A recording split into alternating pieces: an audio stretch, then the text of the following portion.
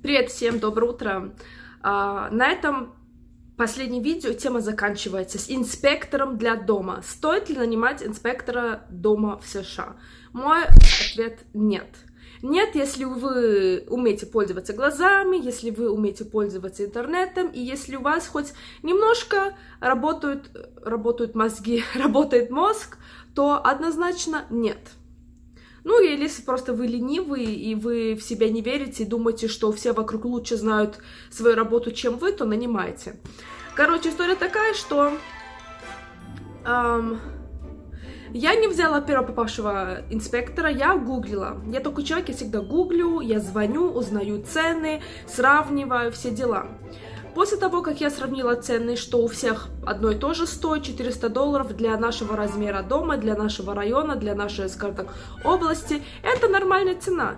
И все инспекторы предлагают как бы одну и ту же услугу. Был один инспектор, который хотел 600 долларов, но он использовал инфраред камеру, это, конечно, очень круто, но я не была готова давать 600 долларов. Поэтому я решила, раз здесь все по обзору, по обзорам, по отзывам у всех достаточно хорошие отзывы, все берут одно и то же, все предлагают одно и то же. Спрошу я у моего риэлтора, кого он может мне посоветовать. Вот. Посоветовал он мне чувака, я позвонила, узнала, что цена то же самое, подумала, ну, риэлтор говно не посоветует, и взял этого чувака. Начнем с того, что с самого начала у меня было я очень, я думала, стоит, не стоит, стоит, не стоит, стоит, не стоит, да. Везде в интернете, мой риэлтор, все остальные люди, все во форумах, в интернете, везде, везде пишутся, стоит брать, стоит брать инспектора, он найдет то, что вы не можете найти, стоит брать, да, надо брать, все вам это долбят, что надо, надо, надо, стой, да, да, да. Я обычно это не ведусь, я обычно, знаете, как бы сама делаю свой research и сама как бы думаю, «Хм, хм, могу ли я это сама сделать, сколько денег на это уйдет, если я сама делаю, какая это работа, как долго она будет длиться, насколько она будет легкой для меня делать? И насколько э, риск, э, шанс меньше, чтобы я что-то напортачила, да, я такой человек. Но, видимо, так как это наш первый дом, я в этом новичок, я как-то вот попала вот в это влияние, что все это в интернете пишут, что да, наверное, надо, да, хотя где-то глубоко внутри я понимала, что я думаю, не надо, но раз все пишут, наверное, надо. Вот у меня это было глубоко в моем сердце. Все-таки я его наняла. А, угадайте, что?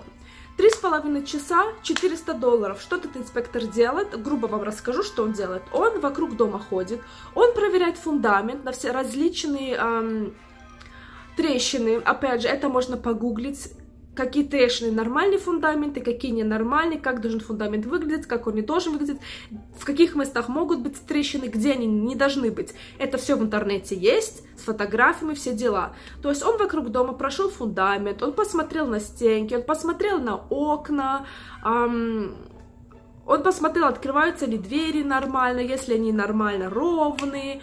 Он проверил гараж, фундамент, э, стенку гаража. То есть он все снаружи посмотрел. Потом он зашел домой. Что он дома сделал? Он дома посмотрел, если микроволновка работает. Я это сама могу сделать, окей. Если духовка нормально работает, как должна работать. И если посудомоечная машина работает, он в каждую почти, не в каждую, в почти каждую розетку засунул устройство, которое меряет эм, электричество в розетке. Он включил отопление на самый максимум, и потом специальной штучкой, таким лазером, он вот э, в эту вентиляцию, откуда этот теплый воздух идет, направлял и смотрел, какая, какая температура. Он проверил, если вода из краника, из, из этих труб нормально выходит. Он посмотрел под раковиной каждой, если там все нормально сделано. Такие вот вещи он посмотрел, понимаете? Конечно, крышу он посмотрел, как там крыша выглядит. Он был в нашем чердаке, у нас их два. Он там тоже проверил, как там все должно быть. И за это все я заплатила 400 долларов. Начнем с того, что он нашел некоторых вещей, которых э, я не нашла и не нашла бы. Окей. Это, наверное, три, четыре вещи. Четыре вещи. Типа, что вот эта дверь кривая, она немножко у нее кривая она. Потом снаружи окна, у них где окно и где начинается кирпич, там есть пространство, оно должно быть закрыто, оно у нас открыто. На крыше некоторые э, штучки, как они называются, тигельштайны, эти на крыше вот эти штучки, которые вот эту крышу делают, некоторые из них а, должны быть более снизу, они чуть-чуть поднялись. Да, он нашел одну трещину в стенке снаружи. Все. Начнем с того, что он ни одно окна не открыл и не посмотрел, как это открыть окно, работает ли мое окно, потому что если он открывал бы окна, он нашел бы, что на втором этаже, на одном из окон, на рамке пластмассовой трещина, чего он не нашел.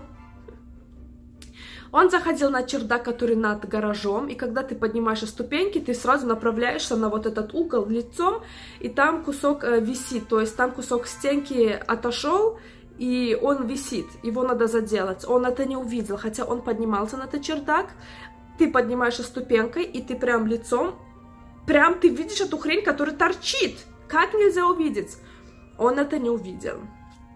Он не нашел, что у меня в некоторых окон не хватает дура сил. Это знаете, как бы у нас двойные окна, и между этим двум стеклам, стеклам, так между этими двумя окнами в серединке есть как будто что-то силиконистое сделано. Вот, внутри между двух окон. В некоторых там два окна, или там, да, два, кажется, там недостаточно, там не хватает. Там забыли. А, я не знаю, как это надо чинить, я не знаю, это надо разбирать окно и потом стекла вытаскивать. Я не знаю, как это работает, но это вещь, которую, наверное, я не смогла бы делать, которая была бы достаточно трудной. Он это не нашел. Вот так вот человек смотрел на окна, что он даже вот это не увидел я из тех людей, что я не люблю так, знаете, тыкать. А вот это видел? Посмотри, ты вот это не увидел.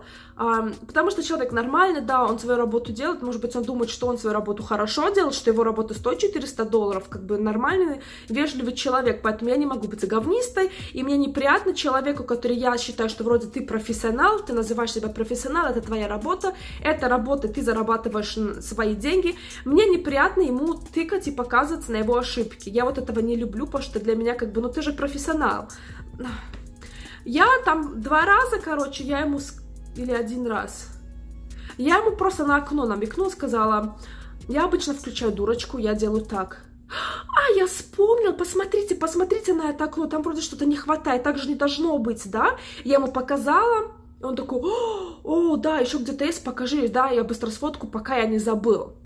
Человеку не стрёмно, не стыдно, ничего по крайней мере, по лицу я не видела, что я это нашла, а он это не нашел. А и потом насчет чердака над гаражом я ему тоже сказала, а я сейчас вспомнила, посмотрите, вы это тоже не заметили, да, а, что там, короче, торчит кусок вот этой стенки. И он залез, посмотрел, такой, о, да, о, он еще пошутил, что, так ты же сама можешь стать инспектор. Я такая реально задумывалась, да, я, наверное, должна какие-то курсы сдать, получу какую-то лицензию, я реально, я буду лучше инспектором, чем ты. Так вот, э, что вам хочу сказать. Если вы хотите взять инспекцию на дом, в интернете есть, если вы задаете в Google uh, Home Inspection Checklist, выходят готовые PDF-файлы, uh, анкет, которые используют многие из этих инспекторов. Это анкета, там несколько листов, которые состоят из разных параграфов, из, разных частей. Например, одна часть крыша, потом фундамент, потом окна, потом двери или потом кухня. А, и вот в каждой вот из этого параграфа есть такие вот вопросы. Так, например, на кухне работают ли все вот эти устройства на кухне? Работают ли розетки? Или там на крыше? Есть ли вот это на крыше?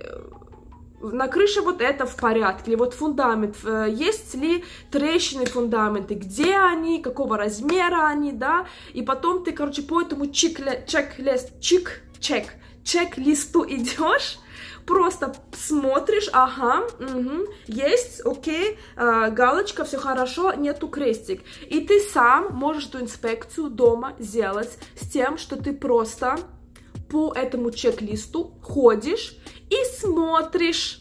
Если ты что-то не знаешь, ты можешь погуглить. И вам будет ответ, как должна выглядеть крыша, как должен выглядеть фундамент. А там даже, если, э, если вы посмотрите, на что обращать внимание, когда делаешь инспекцию сам, там опять же есть тысячу разных э, форумов, где люди вам пишут, или просто статьи, где пишется, на что вам обращать внимание, если вы сами делаете инспекцию, все дела. И вы эту инспекцию можете делать сами. И она будет э, не стоить 400 долларов. Um, вот, такие вот дела. Нет, не стоит. Это просто обдираловка, и уже прошло 3 или сколько там, 4 дня, а я до сих пор еще злюсь, у меня каждый день болит голова, потому что просто я себя реально чувствую, как будто меня лоханули. И я не понимаю, как американцы могут это советовать. Неужели американцы такие тупые, что они просто сами не понимают, что они это сами могут сделать? Я просто вот этого не понимаю. Они реально такие тупые, почему это везде советуется. Это работа, которую ты можешь делать сам. Честно. Честно. И потом, как назло, короче, вчера приходит мне письмо в почтовом ящике реклама инспектора. Видимо, некоторые инспекторы компании, они, видимо, как-то получают доступ а, к вашим данным, и они могут смотреть, кто когда купил дом и у кого когда год гарантии истекает, да.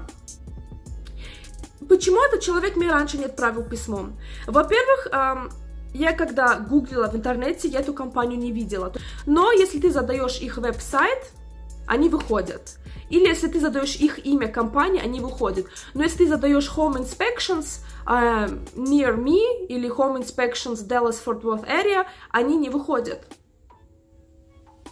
Я не могу искать компанию, да, о которой существование я не знаю. А, и поэтому я эту компанию не видела. Я зашла на этот веб-сайт, я чуть с ума не сошла. Во-первых, они пишут цены. Ни один из инспекторов не пишет цены на их веб-сайте. Смысл иметь веб-сайт, платить за веб-сайт, если самую главную информацию ты не пишешь цену. Человек, когда заходит на твой веб-сайт, он хочет увидеть услуги, окей, ну сколько стоят твои услуги, он тоже, наверное, хочет знать, да? Нет, ты должен звонить. Это, наверное, один из единственных веб-сайтов, которые написали цену. 399 долларов стоит инспекция.